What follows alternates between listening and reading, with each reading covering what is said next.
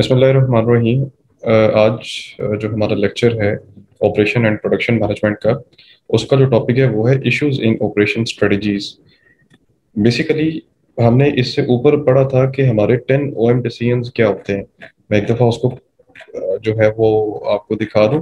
फिर उसके बाद हम थोड़ा सा आगे चलते हैं। हमारे पास टेन ओ जो डिसीज़न थे, जिसको हम स्ट्रेटेजिक ओ एम भी कहते हैं वो goods and services quality process location layout H R supply chain inventory scheduling and maintenance को लेकर होते हैं। अक्सर अवकात हम ये स्ट्रेटजीज बना रहे होते हैं ताकि हम क्या कर सकें? हम ज़्यादा से ज़्यादा बेनिफिट ले सकें या अचीव कर सकें। बट सम टाइम ऐसा होता है कि हमें uh, कुछ प्रॉब्लम्स फेस करना पड़ जाती हैं। इसे हम कहते हैं कि these are issues which are totally belong with the own strategies हम ये देखते हैं जी, ये प्रॉब्लम किस किस शक्ल में हमारे सामने आती है। ओ एम डिसीज़न में या ओ एम स्ट्रेटजीज में हमने इससे पहले एक और क्वेश्चन भी पढ़ा था, जिसमें हमने देखा था कि उसमें डिफ्रेंसिएशन कॉस्ट एंड रिस्पॉन्स ये हमारी स्ट्रेटजी होती है कि जिसकी बेस पे हमने क्या करना होता है, अपने प्रोसेसेस को, अपनी प्रोडक्ट को ज़्यादा से ज़्यादा बेहतर बनाना होता है। इन तीन बेसिक स्ट्रेटजीज के साथ साथ हमने जो है, और भी इसमें इसमें हमने रिसोर्सेज व्यू एक कंसेप्ट आता है। रिसोर्सेज व्यू क्या होता है? कहता है a method managers use to evaluate the resources at their disposal and manage or alter them to achieve the competitive advantages. अब resources view. अब resources क्या होते हैं बेटे? ऑर्गेनाइजेशन के अंदर दो चीज़ें होती हैं। या तो सोर्स अपना कोई इस्तेमाल करो या रिसोर्सेज लगा लो। अपने सोर्स से मुराद ये है कि मैंने एक कंपनी के अंदर ट्रक अपना जाती लेकर रखा हुआ है। तो ये मेरा सोर्स है।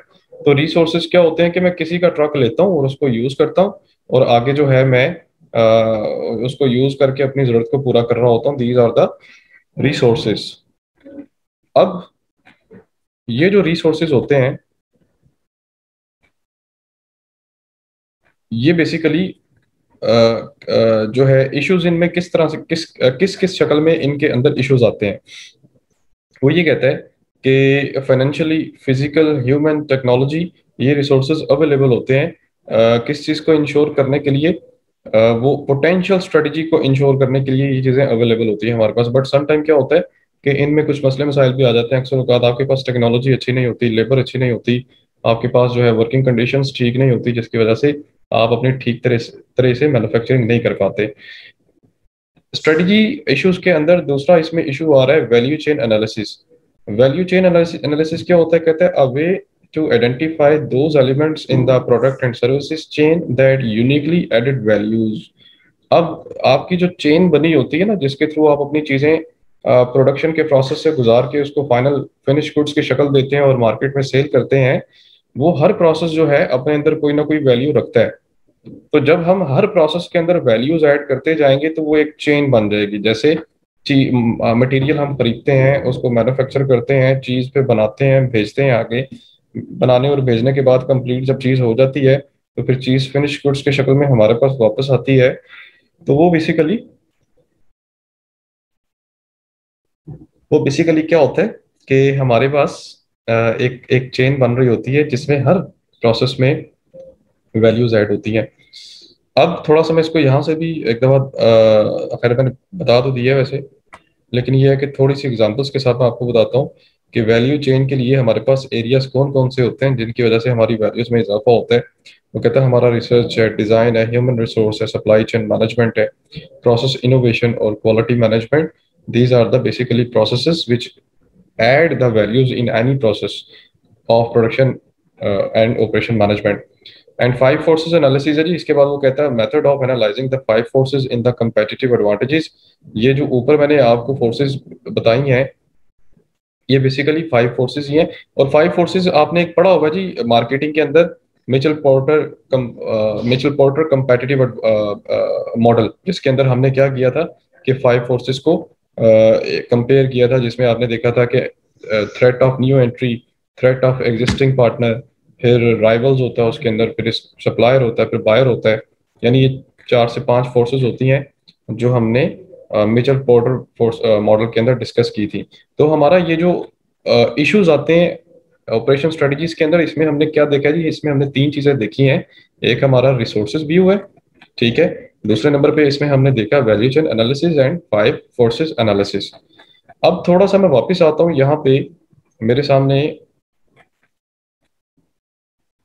कंपैरिजन दिया हुआ है the difference between goods and services influence how the ten operation management decisions are applied तो बेटे ये, क्योंकि हमने ये देखा था कि प्रोडक्शन एंड ऑपरेशन मैनेजमेंट के अंदर हम सिर्फ़ और सिर्फ़ गुड्स ऑफ़र नहीं कर रहे होते, बल्कि सर्विसेज़ भी देते हैं।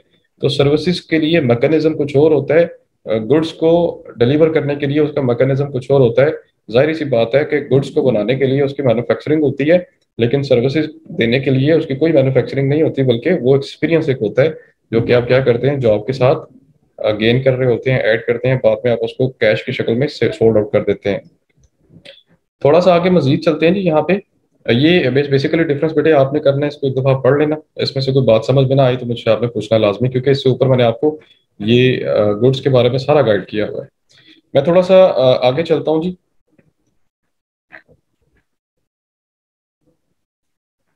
Product life cycle. लें जी अगला क्वेश्चन आता होता है जी पेपर्स के अंदर या एक दो दफ़ा आ भी गया था कि पीएलसी जो है इसके अंदर कौन कौन सी स्टेजेस शामिल होती हैं ये पाँच नंबर का सवाल आया था। स्टूडेंट वंस अगेन मार्केटिंग में ही हमने ये जो क्वेश्चन था चैप्टर नंबर थ्री में या चैप्टर नंबर फोर में इसको डिस्कस किया हुआ है या इसको पढ़ा भी हुआ है कि बेसिकली इसके uh, जो है चार स्टेप होते हैं जिसमें से गुजर के हमारी प्रोडक्ट जो है वो मतलब कि एक उसका बूम पॉइंट भी आता है और एक टाइम ऐसा भी आता है कि उसका डिक्लाइनिंग पीरियड जो है वो स्टार्ट हो जाता है। अब हमारे पास यहाँ पे सबसे पहले जो स्टेज होती है, इसको हम कहते हैं इंट्रोडक्शनरी स्टेज होती है।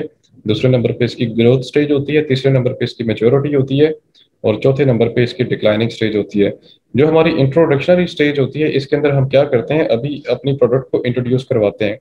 ठीक है? जिसमें क्या होता है कि हमारे पास चीज़ें चीज़ डेवलपमेंट क्रिटिकल है जी।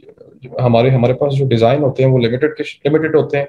हमारे पास प्रोसेस हम चेंज कर रहे होते हैं ताकि हमारी चीज़ ज़्यादा से ज़्यादा सेल हो। शॉर्ट प्रोडक्शन होती है हाई प्रोडक्शन कॉस्ट होती है लिमिटेड मॉडल्स होते हैं अटेंशन टू क्वालिटी हम ज़्यादा से ज़्यादा क्वालिटी की तरफ़ फोकस कर रहे होते हैं। तो ये बेसिकली कौन सी स्टेज होती है? ये इंट्रोडक्शन स्टेज होती है।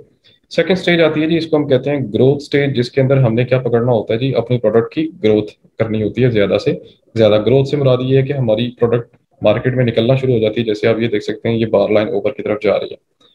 Third one is the maturity stage है। मेचोरिटी में हम जितनी मार्केट कैप्चर कर सकते थे, हमने कर ली होती है और हमारे बेसिकली प्रॉफिट्स वगैरह निकल रहे होते हैं। बड़ी रैपिडली चीज़ें जाती हैं। कैपेसिटी अच्छे से यूज़ होती है इंप्रूवमेंट आ रही होती है और कॉस्ट कट हो रही होती है।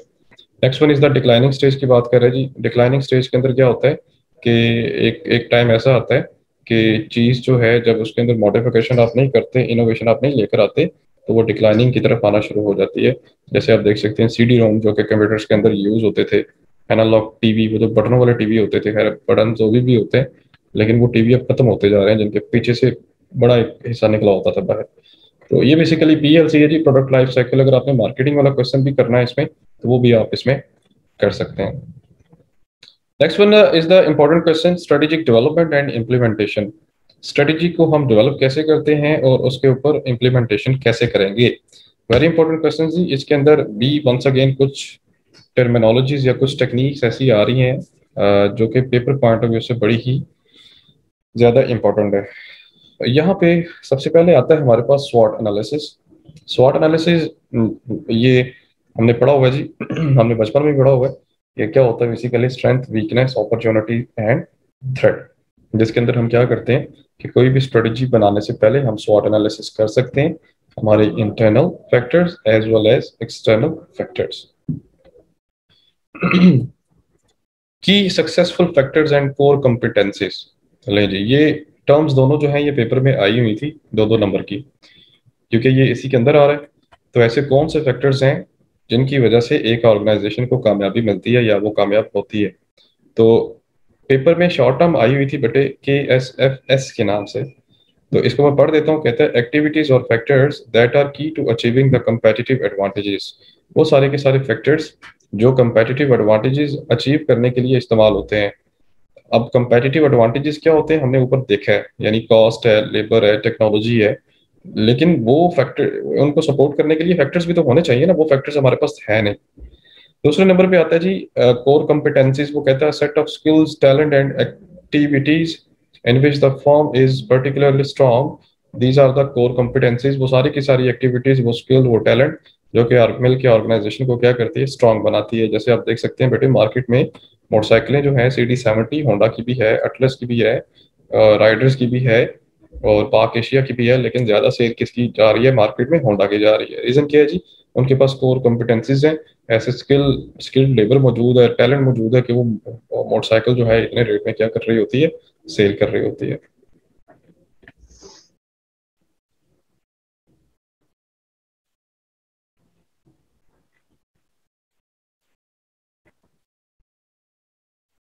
ले जी। ये एक्सप्लेनेशन के बाद एक दफ़ा बेटे आपने स्टडी कर लेना सारा, इसमें वही टेन ओम की बातें लिखी हुई हैं। इसमें आ रहा है next one is the activity map कहते हैं graphical link of the competitive advantages हाँ जी। ग्राफिकली लिंक्ड आप करते हैं, इसको एक्टिविटी मैप भी कहते हैं।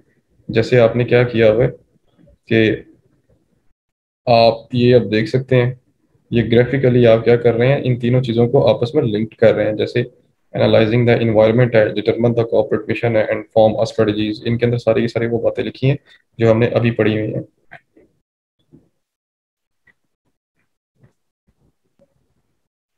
ये कंपेटिटिव एडवांटेजेस कुछ उसने बता दी हैं। ये वो सारी की सारी हैं, जो मैंने डेफिनेशन में बताई हैं, ये एक दफ़ा आपने बेटे पढ़ लेनी है ये एग्जाम्पल्स में आ जाएँगे। नहीं बेटे, सिर्फ़ आज के लिए इतना ही, ये लेक्चर है, ठीक है? हमारा जो है यहाँ पे आके ये कंप्लीट हो रहा है। तो इनशाला बाकी लेक्चर जो हमारा होगा, अगली वीडियो में होगा, और उसमें हम अगला क्वेश्चन देखेंगे. Thank you so much for watching अपना ख्याल रखें. अल्लाह हाफ़